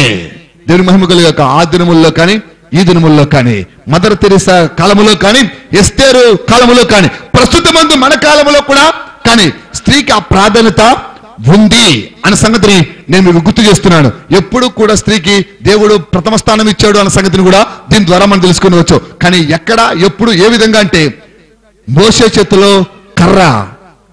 కర్ర బలహీనమైనది. ఎర్ర సముద్రం చీల్చింది. మరొకసారి రిపీట్ చేస్తున్నాను. ఉమ్ము చాలా హీనమైనదే. కానీ ఆ దేవుని యొక్క యేసుక్రీస్తు వారి యొక్క నోటిలో ఉన్నది. వస్త్రము చినిగిపోయేదే. కల్లరపోయేదే నశించేదే. కానీ అది యేసుక్రీస్తు వారు ధరించారు. దుప్పటి అన్నది ఒక వస్త్రం. ఏమాత్రము కూడా విలువలేనిది. పడవేస్తే పైకి లేవలేనిది. మట్టిలో పడితే చెదులు పట్టిపోయి పాడైపోయేది. అలాంటి దుప్పటి ఏలియా గారి భసమ మీద ఉన్నది కనుకనే ఆ దుప్పటికి ఆ విలువ యేసుక్రీస్తు వారి యొక్క ఉమ్ముకు ఆ విలువ ఆఖరిగా ఆ వస్త్రానికి ఆ విలువ కర్రకు ఆ విలువ పెరిగింది. ఇప్పుడు మదర్ తెరిసాకు ఎందుకు అంత గొప్ప విలువ ప్రపంచంలో వచ్చిందంటే ఒకే ఒక కారణం. ఆమె యేసుక్రీస్తును ధరించను గనుక. అలలుయా ఏమి ధరించను? క్రీస్తును ధరించను. క్రీస్తును ధరించిన గనుక క్రీస్తు యొక్క ప్రేమను లోకంలో కనబరిచిన గనుక స్త్రీలలో మదరగా ప్రపంచంలో ప్రత్యేకమైన ప్రఖ్యాతిగాంచిన స్త్రీగా అందరూ కూడా ఇద్దరు మందు హిందూ క్రిస్టియన్ ముస్లిం అని కూడా మతభేదములు లేకున్నట్టుగా మదర్ తెరిస్తారంటే ఇష్టపడేవారు. ప్రపంచం నిండుకొని ఉన్నారు. ప్రపంచ నలుమూలలో కూడా ఉన్నారు. ఆ దేశం ఈ దేశం తేడా లేకున్నట్టుగా ఆ వర్గము ఈ వర్గము వ్యత్యాసం లేకున్నట్టుగా తన జీవితం కొనసాగింది కనుక క్రీస్తును మహిమపరుస్తూ క్రీస్తును ధరించిన స్త్రీ ఏదైనా ముందు ఓ ప్రత్యేకమైన పరిశుద్ధమైన స్త్రీగా మలచబడ్డానికి కారణమైంది. బలమైన ఘట్టముగా తయారు చేయబడను. అలలుగా నేను మహిమ కలుగాక స్త్రీల పండుగకు వచ్చిన నా ప్రియ సహోదరి సహోదరులు మనము కూడా ఒక మదర్ తెరిసలగా తయారు చేయబడిన ఆశ ఇప్పటికి ఎన్నో సార్లు మదర్ తెరిసా చూసేప్పుడల్లా వచ్చి ఉంటుంది మీకు. ఏమొచ్చి ఉంటుంది? మదర్ తెరిసా అని ఎవరైనా చెప్పినప్పుడల్లా కూడా మనము కూడా ఒక మదర్ తెరిసా కావాలి అని తపన పుట్టింటది. మదర్ తెరిసాను కావాలి అని తపన కాదు పుట్టాల్సింది క్రీస్తును ధరించాలి అని తపన పుట్టాలి. ఏ స్త్రీకైతే క్రీస్తు ధరించాలని ఆలోచనిస్తుందో ఆ స్త్రీ ఒక హిస్టేర్ లాగా తయారు చేయబడుతుంది. ఆ స్త్రీ ఒక మదర్ తెరిసలాగా తయారు చేయబడుతుంది. ప్రిమితులరా కూడిన ప్రే సహోదరి సహోదరులరా వాస్తవానికి స్త్రీలు బలహీనమైన ఘట్టమో అనడానికంటే స్త్రీలు బలమైన ఘట్టమో అని చెప్పడానికి కూడా అవకాశం ఉంది. పరిశుద్ధమైన గంధములో ఒక సంఘం ఉంది. ఇది ఆది సంఘం. ఆది సంఘములో మన సంఘంలో ఏ రీతిలో స్త్రీలు అత్యధికంగా ఉన్నారు? అదే రకముగా పేతురు కాలంలో కూడా ఆది సంఘములో కూడా స్త్రీలు అత్యధికముగా ఉండేవారు. పేతురును సరసాలలో వేశారు. సరసాలలో వేసి చీకటి గదిలో పేతురును బంధించారు. పురుషులు ఎక్కడికి వెళ్ళారో తెలియదు. కానీ స్త్రీలందరూ కూడుకొని బైబిల్ చెప్తుంది. స్త్రీలందరూ కూడుకొని సంగమంతి కూడా కలుసుకొని అత్యాసక్తితో ప్రార్థన చేస్తున్నాడు చూద్దాం పశువుల గ్రంథంలో నుంచి స్త్రీ ఎంత బలమైన ఘట్టమో ఎంత బలహీనమైన ఘట్టమో మనం పరిశీలన చేస్తున్నాం. అపస్తుల సరి కార్యములు. పన్నెండవ అధ్యాయం. పేతురు శిరసాలలో ఉంచబడిను. సంఘమైతే అతని కొరకు అత్యాసక్తితో దేవునికి ప్రార్థన చేయించి ఉండెను. ఇప్పుడు చూద్దాం ఎవరు సంఘం ఎక్కడ సంఘం ఎవరు ప్రార్థన చేశారు. చూద్దాం పన్నెండవచనం ఇట్లా ఆలోచించుకుని అతడు మార్కు అను మారు పేరు గల యోహాను తల్లి అయిన మరి ఇంటికి వచ్చను అక్కడ అనేకులు కూడి ప్రార్థన చేయుచు ఉండిరి దేవుని మహిమ కలిగాక చాలా చక్కటి విషయం. అక్కడ అనేకులు కూడి ఉండేది. ఆ కూడి ఉంటున్న వారిలో ప్రథమ స్థానం ఎక్కడ ఎవరుకుందంటే స్త్రీలకు మాత్రమే. పేతురు యోహాన తల్లి అయిన మరీ ఇంటికి వచ్చను. అక్కడ అనేక మంది కూడుకొని ఉంటున్నారంట. ఆ వచ్చిన వారిలో పేతురు తలుపు తట్టంగా వచ్చిన అమ్మాయి కూడా స్త్రీనే. అంటే తలుపు తీయడానికి కూడా ఏర్పాటు చేసిన స్త్రీనే. అక్కడ అనేక మంది స్త్రీలందరూ కలుసుకొని ప్రార్థన చేస్తున్నారు. ఎవరి కొరకు వీళ్ళు ప్రార్థన చేస్తారంటే వారికి బోధించిన పేతురు కొరకు వారిని రక్షించి క్రీస్తును గుర్తు చేసిన పేతురు కొరకు సరసాల్లో వేయబడి సంఖ్యలతో బిగించబడిన పేతురు కొరకు ఆ దినములలో సంగమంతయు కూడా ప్రార్థన చేసే ప్రార్థనా పరులుగా స్త్రీలు ఉన్నారు. ప్రమితులకు ఉన్న సహోదరి సహోదరులరా అందుకని ఆకాశం నుంచి దూత దిగి వచ్చింది దూత రావడానికి కారణం సంగమంతా అత్యాసక్తితో ప్రార్థన చేయగా స్త్రీలందరూ కూడా గుమ్ముకొని ప్రార్థన చేయగా ఆ ప్రార్థన విన్న దేవుడు దూతను పంపించి పేతురును సరసాల నుంచి విడిపించాను. ప్రమితులకు ఉన్న ప్రియ సహోదరి సహోదరురా ఇలాంటి ఘట్టములు బలహీనమైన ఘట్టములు బలమైన ఘట్టములుగా చూపించిన క్షణాలు కొలల సార్లు ఉంటాయి. రాహబో అన్న ఒక స్త్రీ ఉంటది. పన్నెండు గోత్రములు వేగులు వారుగా తయారు చేయబడి కనాను దేశంలోనికి ప్రవేశించి ఏమేమి ఎక్కడెక్కడ ఏ ఏ రత్తులు ఉందో తెలుసుకోవడానికి వేగులు వారిని పన్నెండు గోత్రాల వారిని పన్నెండు యవనస్తులను పంపిస్తే ఆ పన్నెండు మంది యవనస్తుల్లో కొందరు ఆ రాజ్యపు మనుషులకు కంటబడ్డారు. వారు పరుగులెడుతూ పరిగెత్తుతూ ప్రాణభీతితో ఉరుకులు తీస్తూ ఉండగా ఆఖరిగా ఒక స్త్రీ ఆమె పేరు రాహబో ధైర్యము చేసి ఆ వ్యక్తులిద్దరిని కూడా దాచిపెట్టినది అంట. హలలుయా దేవుని మహిమ కలిగాక ఈ దినముల్లో పురుషులైతే తరిమి వేస్తుంటారేమో కానీ స్త్రీ మాత్రం వారి ఇరువురిని కూడా సేవకులని దాచిపెట్టినది. బలహీనమైన ఘట్టమే కావచ్చు కానీ బలమైన కార్యములు అనేకము చేస్తూ ఉంటది. ప్రపంచంలో నిజముగా చెప్పాలంటే స్త్రీ బలహీనమైన ఘట్టమే కావచ్చు అన్నది నిజమే.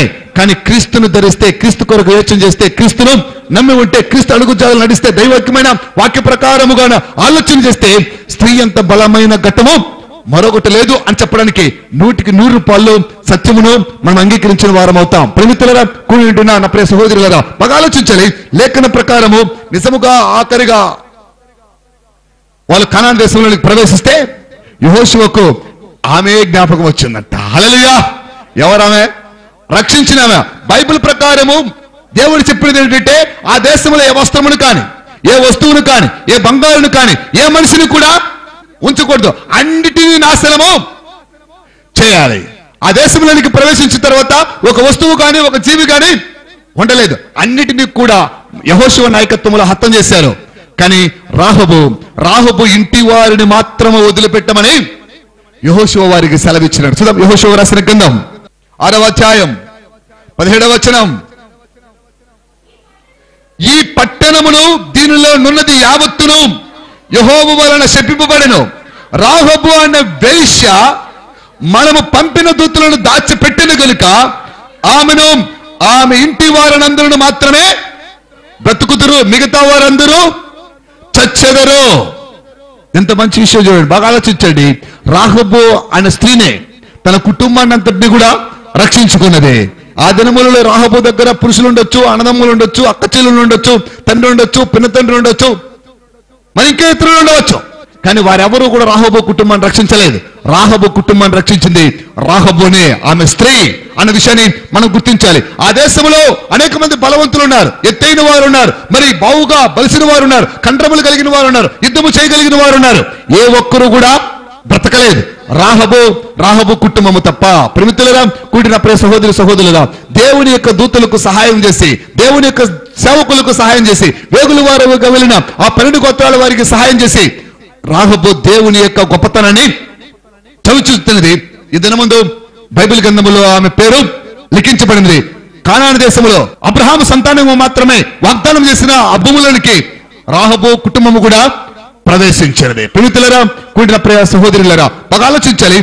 కూడింటున్న ప్రతి స్త్రీ కూడా బలహీనమైన ఘట్టమే కానీ బలమైన ఘట్టముగా తయారు చేయబడవచ్చు అని చెప్పడానికి కొన్ని క్లూస్ను మాత్రమే నేను మీకు చూపించాను. ఇలాంటివి చాలా గొప్ప గొప్ప విషయాలు ఉంటాయి. ఆ తీర్మానంలో మన తీర్మానాన్ని బట్టి ఉంటుంది. ఉదాహరణకి బలమైన కార్యం చేయడానికి హెస్తేరి తీసుకున్న ఒక నిర్ణయం. బలమైన గొప్ప తీర్మానం చేసుకున్న బైబిల్ గ్రంథంలో అనేక మంది స్త్రీలు మనకు కనిపిస్తారు. వారిలో స్త్రీల సంఖ్య ఎక్కువగా మనకు అనిపిస్తుంది. మరి అమూల్యమైన సమర్పణ కలిగిన ఒక స్త్రీ కలదు ఆమె పేరు మరియా. దేవుని మహిమ కలిగక దేవాది దేవునికి కూడా ఉపయోగపడిన స్త్రీ. యేసుక్రీస్తు వారి యొక్క వస్త్రం ఉపయోగకరం. ఆ వస్త్రము ధరించినందుకు ఆ వస్త్రపు యొక్క విలువ పెరిగి రక్తస్రావము గల స్త్రీని సంపూర్ణమైన ఆరోగ్యవంతులుగా మలిచినదే అందుకనే సమర్పణతో కూడిన అతుక్కునే విధానాన్ని బట్టి దేవుని యొక్క ప్రభావంలో మనం నింపబడటానికి అవకాశం ఉంది. ఆ ప్రభావం చేతనే మనం బలమైన కట్టములుగా నీవు కానీ నేను కానీ స్త్రీ కానీ పురుషుడు కానీ మార్చబడడానికి అవకాశము ఉంది. ఆ విషయాన్ని బట్టి మనం చూద్దాం పరిశుద్ధమైన గ్రంథంలో నుంచి. లూక విరాస్తున్న సువార్త ఒకటవ అధ్యాయం ఇరవై ఆరవ వచనం. ఆరవ నెలలో గాబ్రియలను దేవదూత గలలియాలోని నజరేతను ఊరిలో దావీదు వంశస్థుడైన యేసోపను ఒక పురుషునికి ప్రదానము చేయబడిన కన్నిక యొద్దకు దేవుని చేత పంపబడను. ఆ కన్నిక పేరు మరియా. ఆ దూత లోపలికి వచ్చి ఆమెను చూసి దయాప్రాప్తురాల నీకు శుభము. ప్రభువు నీకు తోడై ఉండనని చెప్పాను. బలహీనమైన ఘట్టం స్త్రీ. అయినా భగవంతునికి కూడా ఉపయోగము. హలలుయా బాగా ఆలోచించాలి. మనం స్త్రీ మీరు స్త్రీలు మీరు స్త్రీలు స్త్రీలు స్త్రీలు స్త్రీలు స్త్రీలు. ప్రతి దానికి ఆఖరి నుంచి మొదటి వరకు పుట్టినప్పటి నుంచి చచ్చేంత వరకు. ఎవరు పుట్టారు? అని అడుగుతారు ఫస్ట్. కొడుక కూతురా ఆడ మగ ఉండేదా పోయేదా అక్కడదా ఇక్కడదా? ఎన్ని రకాల సంభాషణలు అంటే స్త్రీల కొరకు? చాలా సంభాషణలు. ఉన్నాయి. అంటే అక్కడదా ఇక్కడదంటే ఇంట్లో నుంచి అత్తగారింటికి వెళ్తుందా? పుట్టింట్లోనే ఉండేవాళ్ళ. పురుషులైతే పుట్టింటిలో ఉంటారు ఆ స్త్రీలైతే అక్కడికి వెళ్ళిపోతారని యోచన భారతదేశంలో బావుగా ఉన్నది. మరి అంటే ఆడ మగ అంటే ఆడదా మగదా అన్న చెత్త పుట్టిన వెంటనే క్వశ్చన్ ఏంటంటే ఆడబిడ్డ మగబిడ్డ అది స్త్రీ అడుగుతుంది పురుషుడు కూడా అడుగుతాడు. అదే పురుషుడు టక టక టక వెళ్ళిపోతారు అక్కడికి. అదే స్త్రీ కనిపిడితే ఏం చేస్తా చెప్పండి? రేపు పోదాం. ఏం పోదాం? రేపు పోదాం పేరుకేమో బంగారు తల్లి అని పిలుస్తారు భారతదేశంలో. మరి మంత్రి చెప్పిన ప్రకారం. కానీ బంగారుగా మాత్రము స్త్రీని దీని ముందు ఏ ఒక్కడు చూడడం లేదు. పుడతానెట్టే తిట్టేది ఎవరినట్టే. కన్న తల్లిని తీరుతారు ఆఖరిగా ఆడబిడ్డని కన్నప్పుడు ఆ నొప్పులు ఎంత వచ్చినా కూడా ఆ నొప్పు కంటే ఆడబిడ్డను కన్నా నొప్పి భారతదేశంలో ఎక్కువగా కనిపిస్తుంది. స్త్రీ హీనమైనదిగా భావించే భారతదేశంలో మనం బ్రతుకుతున్నాం కానీ స్త్రీ బలమైన ఘట్టము అని నిరూపించే ఒక ప్రత్యేకమైన మహత్తరమైన ఆలోచనలు హోలిమేసే మినిస్ట్రీలు పుట్టించడానికి ఈ ప్రత్యేకమైన స్త్రీల పండుగను ఏర్పాటు చేశాం. ప్రేమితులకున్న ప్రే సహోదరు సహోదరుల బలహీనమైన ఘట్టమే అని ఒప్పుకుంటేనే మేము బలమైన వారమని రుజువు చేసుకునే వారముగా మనం కావాలి. అలాగా ఎస్టేర్ లాగా లేక మదర్ తెరిసలాగా ఒక మరియలాగా ప్రపంచంలో కొక్కలా మంది పురుషులు ఉన్నారు. భగవంతుని భూమి మీదకి తీసుకురాగలరంటే తీసుకురాలేరు. సృష్టికి అది విరుద్ధము? దేవుని యొక్క ప్రణాళికకే అది విరుద్ధము. స్త్రీ మరియా బలహీనమైన ఘట్టమే. కానీ తొమ్మిది నెలల పాటు భగవంతుని మోసిన ఘట్టము. ప్రైసహలలుయా చెప్పలు పట్టి మేము పడదాం. ఏ ఘట్టము? చెప్పుదాం ఒకసారి. ఏ ఘట్టము? బలమైన ఘట్టం. ఎవరిని మోసే ఘట్టం? ఏసైన మోసే ఘట్టం. ఏసైన మోసింది. సృష్టికర్తన దేవుణ్ణి శరీరంలో దాచుకున్నది. సృష్టికర్తన దేవుణ్ణి గర్భములో మోసినది. సృష్టికర్తన దేవుణ్ణి తొమ్మిది నెలల పాటు ఊపిరి పీల్చి ఊపిరి అందించినది. స్త్రీయే ప్రే స్త్రీలకి గుర్తు చేస్తున్నాను. దయాప్రాప్తురాలా నీవు ధన్యురాలవు దేవుడు నీకు తోడై ఉన్నాడు. ఇంకా మంచిది. గాబ్రేల దూత ఇంకొంచెం విశాలంగా చెప్పిండాలి నాకు అనిపిస్తుంది. దయాప్రాప్తురాలా నీవు ధన్యురాలవు. నీలో దేవుడు ఉన్నాడు అని. ఎక్కడ? గర్భములో ఉంటాడు. తొమ్మిది నెలల పాటు సృష్టికర్తన ఏసయ్యను పాప విమోచకుడైన క్రీస్తును భరించినది సహించినది మోసినది కన్నది. ఒక రకంగా చెప్పాలంటే కొద్ది దినముల పాటు పెంచినది కూడా. ఎవరు పెంచారు అంటే స్త్రీనే. స్త్రీ అన్న సంగతిని మనం మర్చిపోకూడదు. ఆమె మరియా లేకపోతే హెస్టేరా లేకపోతే మదర్ తెరిసనా అన్నది కాదు.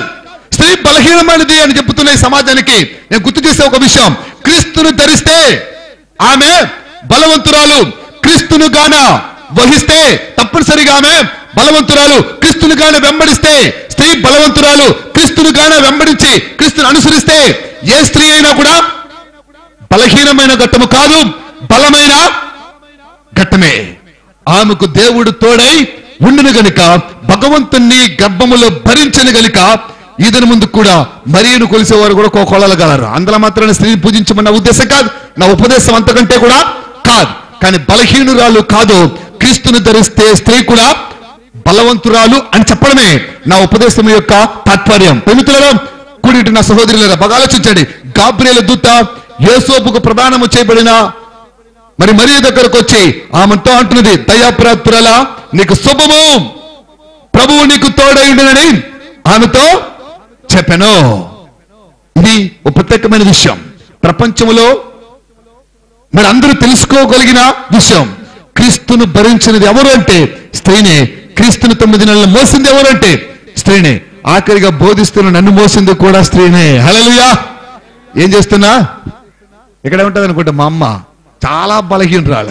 స్త్రీలను చైతన్యవంతులుగా తయారు చేయడానికి ఏర్పాటు చేయబడిన ఓ ప్రత్యేకమైన కార్యక్రమం. స్త్రీలలో ఉంటున్న బలహీనతలు గుర్తించి ప్రపంచాన్ని స్త్రీని హీనంగా చూడడం కంటే కూడా స్త్రీలో ఉంటున్న బలమును గుర్తించి స్త్రీలను గౌరవించాలి అన్న ప్రత్యేకమైన హితోపదేశం చేయడానికి ఈ స్త్రీల పండుగను ఏర్పాటు చేశాం. దేవుడు మహిమ కలిగిన యొక్క మహిళలందరికీ కూడా మరొకసారి ధన్యవాదాలు తెలియజేస్తున్నాడు కూడిన ప్రియ సహోదరి సహోదరుల కానీ స్త్రీ మహిళ అన్న పదానికి అర్థాలిస్తూ దూత గాబ్రియల దూత మరియ దగ్గరకు వచ్చి మరియతో ఉంటుంది దయాప్రాప్తురాలా అని.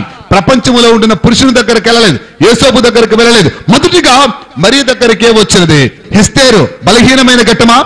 బలమైన ఘట్టమా? అని తెలుసుకోవాల్సిన బాధ్యత మీ మీద ఉన్నది. ఆది సంఘములో ప్రార్థన చేసే స్త్రీలు బలహీనమైన ఘట్టములా లేక బలమైన ఘట్టములా? ఆ వారి ప్రార్థన దేవుని యొక్క సన్నిధికి వెళ్ళి దేవదూతను దేవుడు పంపించి పేతురును సరసాల నుంచి విడిపించిన ఆ ప్రార్థన శక్తి బలహీనమైన ఘట్టముల శక్తి బలమైన ప్రార్థనా పరులైన స్త్రీల యొక్క శక్తియా?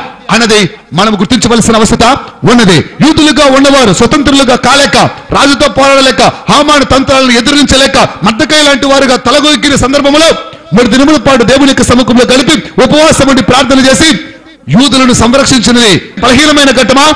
లేకపోతే బలమైన ఘట్టమా? ఆయన తీర్మానం చేసుకోవాల్సిన అవసరం స్త్రీలకు ఉన్నది. ఈ వాక్యాన్ని పెట్టిన ప్రతి ఒక్కరికి కూడా ఉన్నది. మరి దానికంటే శ్రేష్టమైనది మీకు గుర్తు చేస్తున్నాను యేసుక్రీస్తు వారు చనిపోయారు.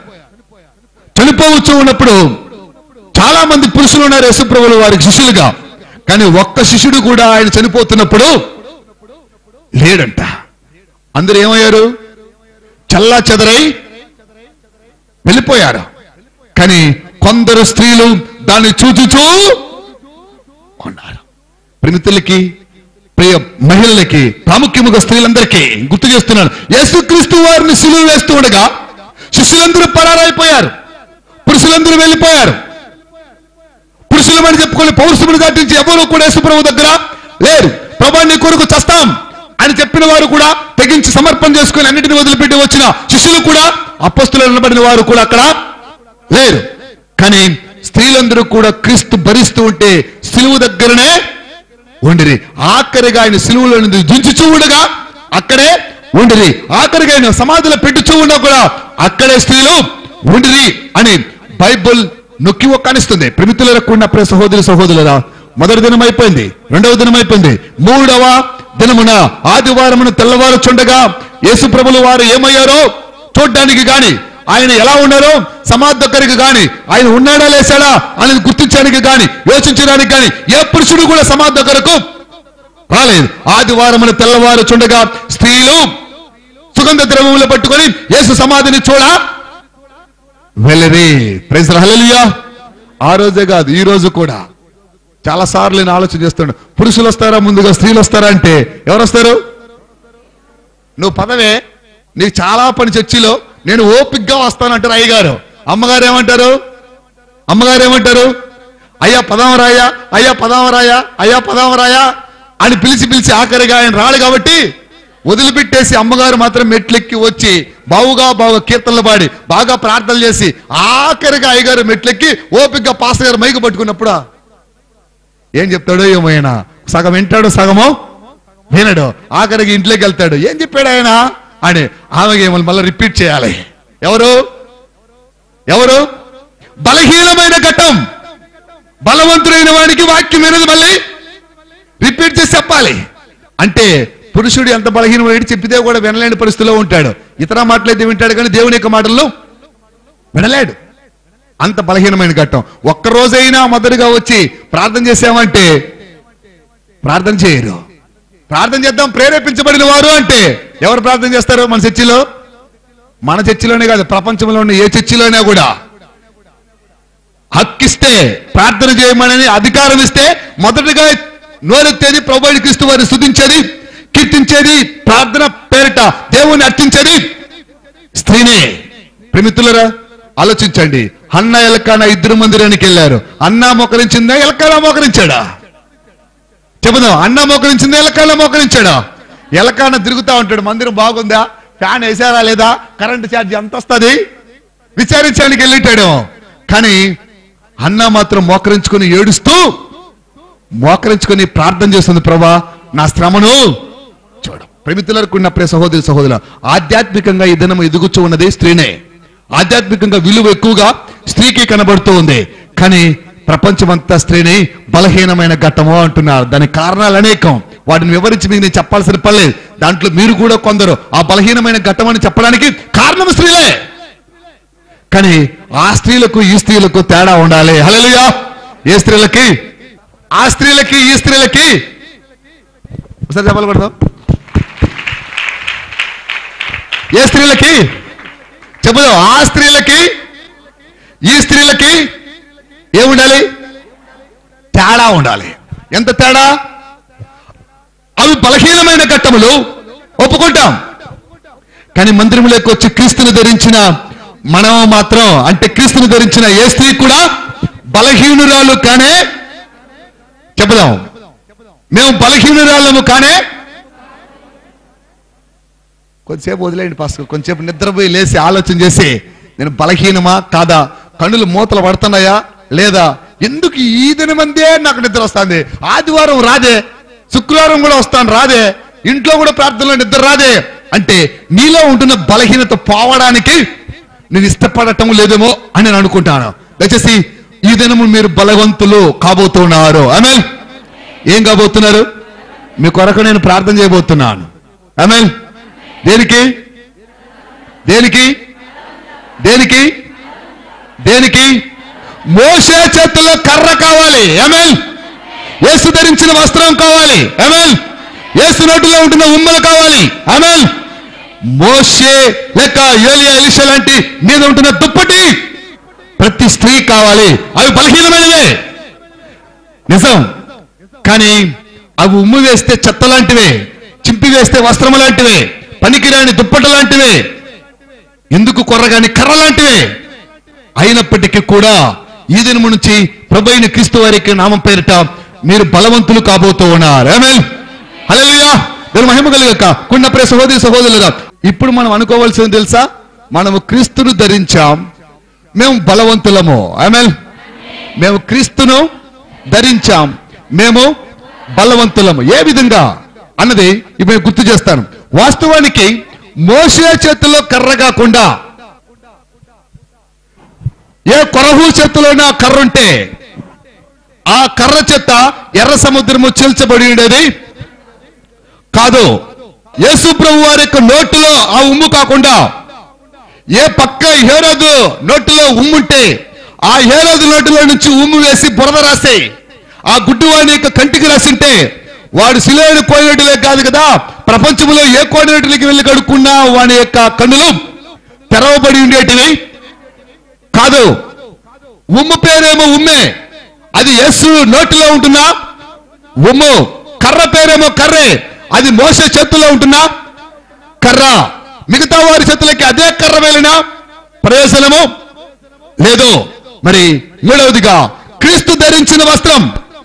ఆ దినములు వస్త్రాలు ఉన్నాయి. యేసుక్రీస్తు ధరించిన వస్త్రాలు లాంటివి అనేక మంది ధరిస్తూ ఉంటారు. యేసుక్రీస్తు ధరించిన వస్త్రమే. ఆ మిషన్ల నుంచి అనేక రకాల వస్త్రాలు వచ్చి ఉంటాయి. అదే ఒకవేళ ఈదల మంది మనం వస్త్రం కొట్టి ఉంటాం. ఈ చొక్కా ఉంది. ఇలాంటి చొక్కా ఇంకెవరికి ఉండదా? ఉంటుందా ఉండదా? ఖచ్చితంగా ఉంటుంది. కానీ యేసుక్రీస్తు వారు ధరించిన వస్త్రము కూడా అనేక మంది ధరించి ఉంటారు. కానీ వారు ధరించినంత మాత్రాన ఆ ప్రభావం వస్త్రంలో నుంచి ఏ స్త్రీలకి కానీ ఏ పురుషుల్లోని కానీ ఏ రోగంలోని కానీ వెళ్ళలేదు. అది క్రీస్తు ధరించింది కనుక ఆ వస్త్రము క్రీస్తు వేసుకుని కనుక ఆ పై వస్త్రం వేసుక్రీస్తు మీద ఉన్నది కనుక రక్తస్రావము గల స్త్రీ యొక్క రోగము. బాగుపడను దుప్పట్లు ప్రపంచంలో కొ- కొలల దుప్పట్లు ఉన్నాయి ఆ దిన ముందు కానీ ఈ దిన ముందు కానీ చలికి కప్పుకునే దుప్పటి అందరి మీద ఉండేది. కానీ ఈ దినముల్లో అయితే అరుదుగా ఇండ్లలోనే దుప్పట్లు ఉంటాయి కానీ కొన్ని ప్రాంతాలు ఇప్పటికీ కూడా ప్రతి ఒక్కరి భుజం మీద ఒక దుప్పటి ఉంటుందన్నమాట. ఎందుకంటే అది వెళ్ళేటప్పుడు చలికి కప్పుకోవడానికి ఒకటైతే ఎక్కడైనా కింద వేసుకొని పడుకోవడానికి మరొకటి. కానీ ఏలియా మీద కూడా ఒక దుప్పటి ఉన్నది. ఏలియా మీద కాకుండా మరో ఇక ఇంకో వ్యక్తి మీద కానీ ఇంకొక రాశి మీద కానీ లేకపోతే ఇంకొక ధనవంతుడి మీద కానీ ఇంకొక జ్ఞానవంతుడి మీద కానీ ఆ దుప్పటి ఉన్నట్టయితే వారు వచ్చి ఎర్ర కొడితే యోర్ధాన్ పాయలు కానే కాదు. ప్రేమితులలో కూడిన ప్రే సహోదరి సహోదరులరా ధరించే వ్యక్తిని బట్టి మనకు కావలసిన ప్రభావము ఉంటుంది. ప్రపంచంలో స్త్రీలు అనేక మంది ఉన్నారు. కానీ మదర్ తెరిసా లాంటి వారు ఎవ్వరూ కూడా లేరు. ఎందుకు అంటే యేసుక్రీస్తుని మాత్రమే స్మరించిన గనుక యేసుక్రీస్తును మాత్రమే ధరించిన గనుక యేసుక్రీస్తుని మాటలు మాత్రమే వెంబడించిన గనుక యేసుక్రీస్తు మాటలు మాత్రమే చెప్పిన గనుక యేసుక్రీస్తు హితబోధలు మాత్రమే అంగీకరించిన గనుక యేసుక్రీస్తును మాత్రమే రక్షకుడిగా స్వీకరించిన గనుక దేవుడుగా కొలుసుకుని గనుక యేసుక్రీస్తు నామాన్ని మాత్రమే ఉచ్చరించిన గనుక. ప్రపంచములో మదర్ తెరిసా లాంటి వారు మరొకరు. స్త్రీలు అనేక మంది ఉన్నారు. కానీ తెరిసా లాంటి వారు లేరు. ప్రమితులరా కూడిన ప్రే సహోదరి సహోదరులరా దా రాజు పరిపాలిస్తున్న రాజ్యంలో భక్తులు అనేక మంది ఉన్నారు.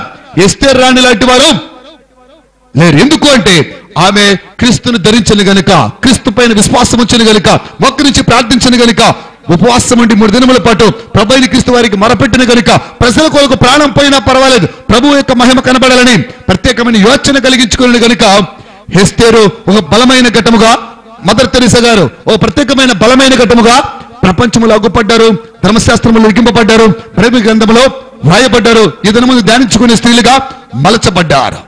యేసు ప్రభులు వారిని సిలువ వేస్తుంటే అనేక మంది పారిపోయారు.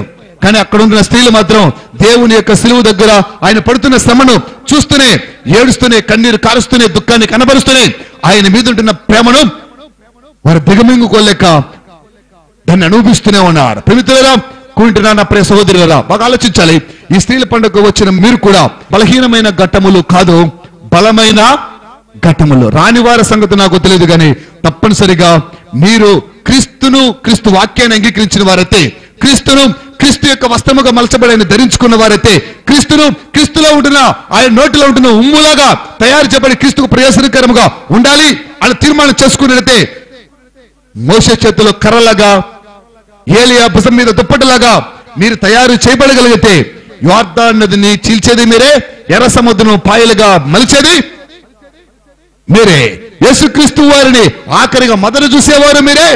యేసుక్రీస్తు వారి యొక్క వార్త మొదలు ప్రకటించేవారు స్త్రీలే. యేసుక్రీస్తు వారిని మొదలు చూసింది ఎవరు? స్త్రీలే. బైబిల్ చెప్తుంది మొదట భక్తలైన మరియా యేసుక్రీస్తు వారి పునరుత్నమైన తర్వాత ఆమె మాత్రమే మొదట చూచిన. మొదట చూసినది స్త్రీనే. అన్న సంగతి మనం గుర్తించాలి. మొదటిగా క్రీస్తు యొక్క ప్రకటన చేసింది కూడా స్త్రీనే. ఇది దావీదు గ్రహించి ఒక మాట ఆ కీర్తనలు దావీదు రాసిన కీర్తనలో ఓ ప్రవక్త ద్వారా వ్రాయబడిన మాటను మీకు గుర్తు చేస్తాను పరిశుద్ధమైన గ్రంథంలో నుంచి. అరవై ఎనిమిదవ కీర్తన పదకొండవ వచనం. ప్రభువు మాట. ప్రైజ్ హల్లెలూయా ఏం చెప్పాడు? ప్రభువు మాట సెలవిచ్చుచున్నాడు. దానిని ప్రకటించు స్త్రీలు. ఏం సైన్యంగా? చెప్పుదాం ఏం సైన్యంగా? ఏం సైన్యంగా? ఏం సైన్యంగా? గొప్ప సైన్యముగా ఉన్నారు అంట. దావీదు రాసిన కీర్తనలు అతి ప్రాముఖ్యముగా స్త్రీలను గురించి రాసిన మాట శ్రేష్టమైన మాట. ఏంటంటే స్త్రీలు అన్న పదము చాలా శ్రేష్టమైన భావనగా ఉన్నది. ప్రభువు మాట సెలవిచ్చుచున్నాడు. ఇది దావీదు నోట వచ్చింది కాదు. ప్రభువు నోట వచ్చిన మాట. ఇది దావిదు కలమల నుంచి వచ్చిన కీర్తన కావచ్చు. కానీ దేవుడు చెప్పితే వ్రాయించిన కీర్తన. ఈ అరవై ఎనిమిదో కీర్తన పదకొండవ వచ్చంలో ప్రభువు మాట సెలవిచ్చుచున్నాడు. దానిని ప్రకటించు స్త్రీలు గొప్ప సైన్యముగా ఉన్నారు. ప్రైస్ హల్లెలూయా దీని మహిమ కలుగక. ఇప్పుడు ప్రకటించే స్త్రీలు బలహీనులుగా ఉంటారా? బలవంతులుగా ఉంటారా? ప్రకటించే స్త్రీలు బలహీనులుగా ఉంటారా? బలవంతులుగా ఉంటారా? ప్రకటించే స్త్రీలు బలహీనులుగా ఉంటారా? బలవంతులుగా ఉంటారా?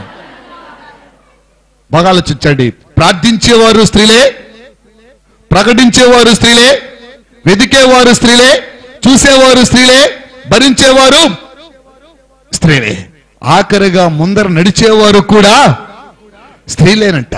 బైబిల్ చెప్తుంది మిరియము స్త్రీలను ముందు నడుచుచు ఆమె నడిచను. కీర్తించుచు దేవునికి మహిమ తెస్తూ నడిచను అని బైబిల్లో ఉంటుంది. దేవుని మహిమ కలిగా కూడిన ప్రే సహోదరి సహోదరులరా దానికంటే శ్రేష్టమైనది ప్రవక్తులు అనబడిన వారు గలరు.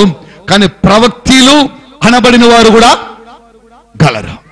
క్రీస్తును క్రీస్తుగా చూసిన స్త్రీ అన్న ప్రవక్తి అని లూకవ్రాసిన సువార్తలో వ్రాయబడి ఉంటుంది. దానికంటే కూడా పౌలు పలానా చోట సరసలలో వేయబడతాడు అని చెప్పిన స్త్రీలలో కూడా మరి పిలుపు కుమార్తెలు నలుగురు స్త్రీలు ప్రవక్తులుగా మలచబడి దేవుని యొక్క నామానికి మహిమ తెచ్చిన వారుగా తయారు చేయబడ్డారు. ప్రమితులరా కూడిన ప్రే సహోదరులరా బాగా ఆలోచించండి. ఈ స్త్రీల పండగ రోజున మీరు కావాల్సింది బలహీనమైన వారు కాదు బలమైన వారు కావాలి. హల్లెలూయా! ఏం కావాలి? కానీ దానికి కావాల్సింది ఒక్కటే మనము క్రీస్తు యొక్క చేతిలో ఉండాలి. క్రీస్తును ధరించిన వారి వస్త్రములో మనం ఉండాలి. క్రీస్తు నోటులో ఉమ్మువలే మన మాట ఉండాలి. అది ప్రభువు మాటై ఉండాలి. మరి ఈ దినము నుంచి మేము బలహీనులము కాదు మేము బలవంతులము. ఆమె హల్లెలూయా. కానీ మనమందరం కూడా ఏ బలం చూస్తాం తెలుసా? ఒక ఆమె చెప్తుంది ఆ నోటి మాటలు చెప్తే నాకు బాగా ఆరోగ్యం వచ్చింది బలంగా ఉన్నాను. ఏ బలం అది? ఏ బలం అది? శారీరకమైన బలం. మనం ఆత్మీయంగా ఆలోచించాలి. స్త్రీలు గాని పురుషులు కానీ వాక్యం చెప్పే ప్రతి ఒక్కరు కూడా ఆత్మీయంగా ఆలోచించాలి. మోషకు ఎంత బలం ఉంటే ఎర్ర సముద్రం చేల్చబడుతుంది. చెబుదాం. మోసకు ఎంత బలం ఉంటే ఎర్ర సముద్రం చీల్చబడుతుంది. ఏలియా గారికి ఎంత బలం ఉంటే యోర్దాన్ నది పాయలుగా చేయబడుతుంది. ఆలోచించాడు ఒకసారి. అది శారీరకమైన బలం అంటారా?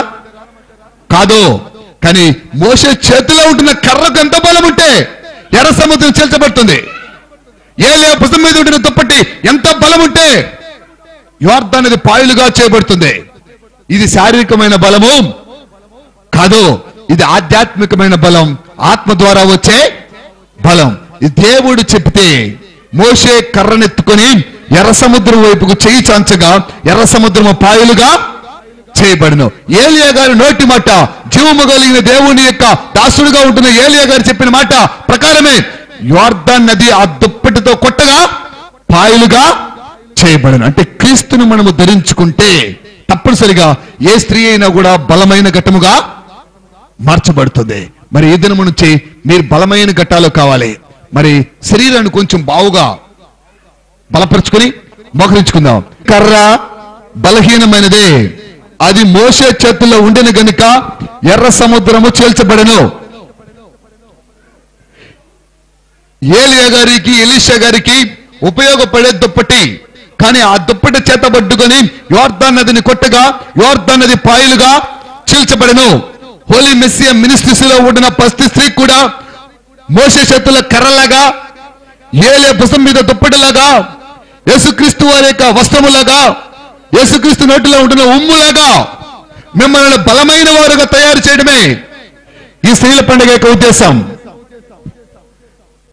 స్త్రీ మొదటిగా క్రీస్తును చూశాను.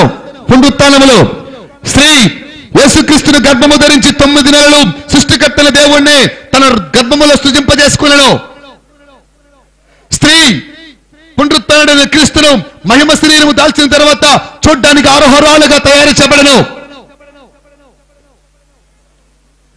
హెస్తేర్ లాంటి స్త్రీలు కావాలి. మగ్ధలైన మరియ లాంటి స్త్రీలు కావాలి. యేసుక్రీస్తును కన్న స్త్రీలు కావాలి. మదర్ తెరిస లాంటి స్త్రీలు కావాలి. వీరందరూ కూడా క్రీస్తును ధరించిన వారు గనుక క్రీస్తుని వెంబడించిన వారు గనుక క్రీస్తుకు అంకితభావం కలిగిన వారు గనుక క్రీస్తుకు సమర్పించుకున్న వారు గనుక క్రీస్తు జీవితంలోనికి ప్రవేశించిన వారు గనుక క్రీస్తుకు జీవితాన్ని అంకితం ఇచ్చిన వారు గనుక వీరి జీవితము బలమైన ఘట్టముగా మార్చబడను. బలమైన ఘట్టముగా మార్చబడను. ఏ స్త్రీ చేయలేని ఏ పురుషుడు కూడా తలంపుల్లో కూడా రాలేని కార్యాలు ఈ స్త్రీల ద్వారా జరిగిన సంగతిని మనం గుర్తించవచ్చు. ఎస్తేలు రాణిగా ఉంటున్న రాజ్యంలో పురుషులు గలరు స్త్రీలు గలరు జ్ఞానులు గలరు బలవంతులు గలరు బలహీనులు గలరు. బలహీనమైన ఘట్టమని చెప్పుకునే స్త్రీ అయిన ఎస్తేనే ఆ రాజ్యంలో స్వతంత్రత రావడానికి హామాన్ లాంటి దుర్మార్గులకు శిక్ష విధింపబడ్డానికి మద్దకాయల నీతిమంతులకు శిక్ష నుంచి తప్పించబడ్డానికి స్త్రీయ కారణమైన స్త్రీయ కారణమైన స్త్రీయ కారణమైన. క్రీస్తు మరణములో నుంచి లేచాడని క్రీస్తు పునరుత్నం పొందాడని పురుషులకు చెప్పినది మొదటి స్త్రీనే.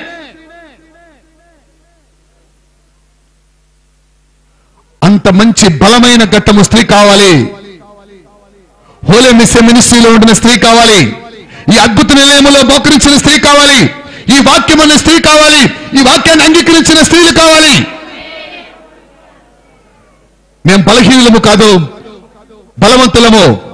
శారీరకములో మేము బలహీనులమేమో కానీ ఆధ్యాత్మికముగా మేము బలవంతులము. పేతుని సరసాల నుంచి విడిపించి ప్రార్థన చేయడానికి పూనుకున్న ఆ స్త్రీ గుంపు అని చెప్పగలిగిన ఒక ధీమ ఒక ధైర్యం ఒక ధీమ ఒక ధైర్యం ఒక పౌరుషం స్త్రీల్లో కూడా పుట్టుకు రావాలి. స్త్రీలైన మీలో పుట్టుకు రావాలి. ఆధ్యాత్మికమైన చింతన చేత ఆత్మీయ ధైర్యం చేత క్రీస్తుని మేము ధరించి ఉంటున్నాం. క్రీస్తుని మేము కలిగి ఉన్నాం. క్రీస్తుని మేము రక్షకుడుగా అంగీకరించి ఉంటున్నాం క్రీస్తు యొక్క ఆత్మను పొందుకొని క్రీస్తుకు మహిమకరముగా జీవించే మనస్తత్వం కలిగిన స్త్రీలుగా ఉన్నాం. అన్న ఒక తలంపు ఉండాలి. అపస్తుల కాలములో దేవుని యొక్క మందిరపు ఆవరణములో సుతిస్తూ ఉండగా అపస్తులే కాక స్త్రీలు కూడా అక్కడ ఉండిరి. అపస్తుల మీదకే కాక స్త్రీల మీదకు కూడా దేవుని యొక్క ఆత్మ అభిషేకం అగ్ని వారి మీద కూడా వ్రాలను. అనే లేఖనములు పరిశుద్ధమైన గ్రంథములు మనం చూడగలం. పురుషుల మీదకి మాత్రమే ఆత్మ రాలేదు. స్త్రీల మీదకు కూడా ఆత్మ కలిగను పురుషులు మాత్రమే కాదు ప్రకటించేవారు. స్త్రీలు కూడా ప్రకటించగలరు. పురుషులు మాత్రమే కాదు అద్భుతాలు చేసేవారు. స్త్రీలు కూడా అద్భుతాలు చేయగలరు. క్రీస్తుని ధరించిన ఎవరైనా అది వస్త్రము కావచ్చు నోటిలో ఉమ్ము కావచ్చు పైన వేసుకునే దుప్పటి కావచ్చు చేతులు పట్టుకునే కర్ర కావచ్చు పట్టుకోవాల్సింది దేవుడు. ధరించవలసింది యేసును. ఎవరైతే యేసును స్మరిస్తారో ఎవరైతే యేసును ధరిస్తారో ఎవరైతే యేసుక్రీస్తు వారి నామాన్ని ఉచ్చరిస్తారో స్త్రీ పురుషులు తేడాలు క్రీస్తుకు లేవు. స్త్రీ నువ్వు కావాలి. అలాంటి ఎస్టేర్ లాంటి ఉపవాసమైన స్త్రీకి నువ్వు కావాలి. ఆది సంఘములో స్త్రీలు ప్రార్థన పరులైనట్టుగా మీరు కావాలి. మదర్ తెరీసా లాంటి మంచి పరిచయం చేయగలిగిన స్త్రీలు కావాలి. మరి అలాంటి సువార్త ప్రకటించే స్త్రీలు మీరు కావాలి. క్రీస్తు మహిమలో చూడగలిగిన స్త్రీలు మీరు కావాలి. దేవుని యొక్క ఆత్మ చేత దేవుని యొక్క మహిమ చేత దేవుని యొక్క నామమును ఉచ్చరించగలిగిన స్త్రీలు కావాలి. దేవుని యొక్క శక్తిని దేవుని యొక్క సామర్థ్యమును విడుదల చేయగలిగిన స్త్రీలు మీరు కావాలి. బలహీనమైన ఘట్టము కాదు బలమైన ఘట్టమే క్రీస్తుని ధరించేది అది చెట్టైనా కొమ్మైనా అది వస్త్రమైన దుప్పటైనా అది బలకమైన ఘట్టమే క్రీస్తుని ధరించిన వాడు పురుషుడైనా స్త్రీ అయినా బాలుడైనా బాలికైనా అది బలమైన ఘట్టమే ఈ దినముందు సమాజంలో స్త్రీ చలికి కప్పుకునే దుప్పటలాగా కనిపిస్తుంది. ఈ దినముందు సమాజంలో స్త్రీ చలికి కప్పుకునే దుప్పటలాగా కనిపిస్తుంది. ఏదైనా ముందు సమాజంలో స్త్రీ చలికి కప్పుకునే దుప్పటలాగా కనిపిస్తుంది. కాదు. ఈదనము నుంచి మందిర పావనములు ఉంటున్న ఈ స్త్రీలు ఈదనము నుంచి మందిర పావనములు ఉంటున్న ఈ స్త్రీలు అడ్డంకులు తొలగించగలిగిన ఏలే దుప్పటి లాంటి స్త్రీలుగా మలచబడబోతున్నారు. అడ్డంకులు తొలగించగలిగిన ఏలే దుప్పటి లాంటి స్త్రీలుగా కనబడబోతున్నారు. అడ్డంకులు తొలగించగలిగిన ఎలి మీద ఉంటున్న దుప్పటిలాగా తయారు చేయబడబోతున్నారు. నదులు తీర్చగలిగిన అడ్డంకులు తొలగించగలిగిన ఏలియా భుసమ మీద ఉంటున్న దుప్పటలాగా ఏలియా చేతిలో ఉంటున్న దుప్పటలాగా తయారు చేయబడబోతున్నారు. థ్యాంక్ యూ జీసస్ సాలలుయా నువ్వు చలికి కప్పుకునే దుప్పటలాగా కాదు అడ్డంకులు తొలగించే దుప్పటమే. నువ్వు మురికి బట్టవు కాదు మూల బట్టవు కాదు. నీవు దేవుని యొక్క ప్రభావం విడుదల చేయబడిన వస్త్రానివి. నీవు ఉమ్ము వేసే పనికిరాని ఉమ్ము కాదు. అందుని గుడ్డితనాన్ని తొలగించి చూపుని కలిగించి వెలుగును కలిగించి. ఏసుక్రీస్తు నాటులో ఉంటున్న ఉమ్మవు ఏసుక్రీస్తు నాటులో ఉంటున్న ఉమ్మవు ఉమ్మవు. యేసుక్రీస్తు నాటులో ఉంటున్న మాటవు.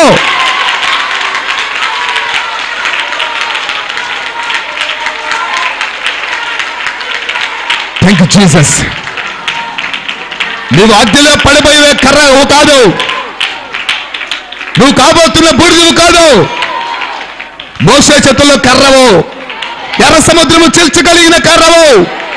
బండను కొట్టగలిగి జీవ బూటబుడులు పుట్టించగలిగిన కర్రవు. ఆహారం చేతుల్లో ఉంటున్న చిగురించే కర్రవు. Thank you Jesus